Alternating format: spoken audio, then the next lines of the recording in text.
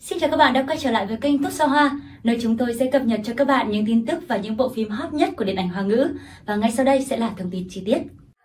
Ở thời điểm hiện tại, lứa tiểu hoa 95 của Cbiz đang phát triển cực kỳ mạnh mẽ cả về số lượng và chất lượng. Với tình hình này thì năm 2023 được dự đoán sẽ là một năm khốc liệt của các người đẹp 9X trên màn ảnh nhỏ. Hầu hết đều có trong tay các dự án cổ trang đáng kỳ vọng sẽ ra mắt trong năm nay. Theo đó, hiện tại Triệu Lộ Tư đang trên phim trường Thần ẩn, hợp tác cùng Mỹ Nam Vương An Vũ. Ngay từ những tạo hình đầu tiên, cô nàng đã khiến dân tình choáng ngợp vì quá đẹp. Có ý kiến cho rằng kết hợp cùng kỹ xảo, Triệu Lộ Tư chắc chắn sẽ là một tiền nữ đáng mong đợi cho năm nay. Ngoài ra, Ngô Tư Hân hiện cũng đang quay Vân Chi Vũ cùng tình tin đồn của Bạch Lộc là Trương Lăng Hách. Dưới bàn tay của Quách Kính Minh, nữ chính Thương Lan Quyết gây sốt với vẻ đẹp vừa lạnh lùng lại vừa dịu dàng. So với hồi đóng Thương Lan Quyết có ý kiến cho rằng tạo hình của Ngô thư Hân trong Vân Chi Vũ trông đẹp hơn hẳn. Tuy nhiên thì hiện tại cư dân mạng đang bị hút hồn bởi tạo hình cổ trang của một mỹ nhân lứa 95 khác là Tống Tổ Nhi. Gia nhập đoàn làm phim khom lưng chưa lâu, cô nàng đã khiến khán giả mê mẩn với loạt tạo hình đơn giản mà không kém phần cuốn hút. Gương mặt tinh tế của Tống Tổ Nhi được khen là cực hợp trong tạo hình thời nhà Hán. Thậm chí những tạo hình váy trắng gần đây của Tống Tổ Nhi còn được khen hút mắt hơn cả Triệu Lộ Tư và Ngô Tư Hân. Tạo hình mới nhất của cô nàng đã được dân mạng phong là thần vì quá xuất sắc, trong khom lưng Tống Tổ Nhi vào vai Tiểu Kiều, một trong những mỹ nhân nổi tiếng trong lịch sử. Hiện tại thì cả ba dự án cổ trang của Triệu Lộ Tư, Ngô Tư Hân và Tống Tổ Nhi đều vẫn đang trong quá trình quay. Mới đây thì truyền thông xứ Trung đưa tin nữ diễn viên Dương Tử không may gặp chấn thương khi đang quay phim 199 lớp.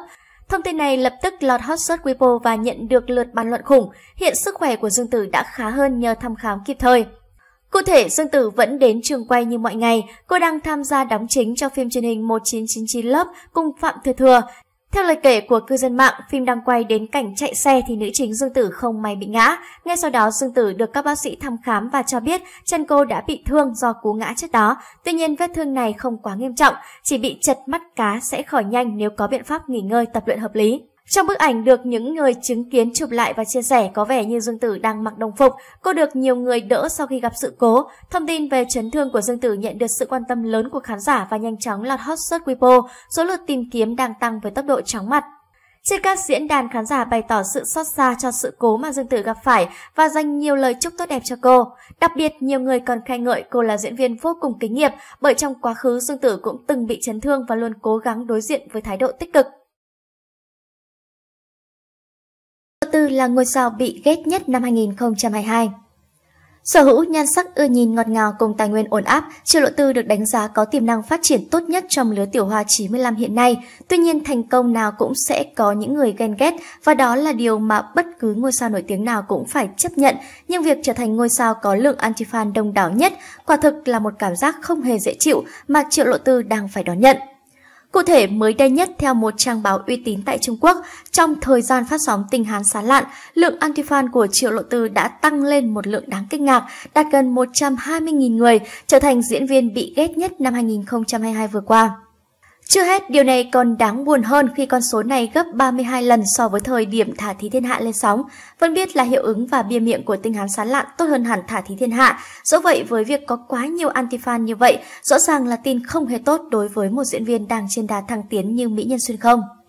Năm 2022 vừa rồi là một năm đại thành công đối với nghiệp diễn của cô nàng. Tuy nhiên như đã nói ở trên, lượng anti-fan của cô đang tăng một cách chóng mặt, thế nên những dự án sắp tới của Mỹ Nhân Xuyên không sẽ khó có thể tránh khỏi sự soi mói từ những người này và việc mắc phải sai lầm sẽ là cơ hội để hội anti-fan này tấn công nữ diễn viên.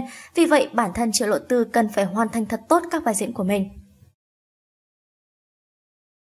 Cảm ơn các bạn đã quan tâm và theo dõi. Đừng quên để lại những ý kiến của mình ở dưới phần comment nhé. Xin cảm ơn và hẹn gặp lại.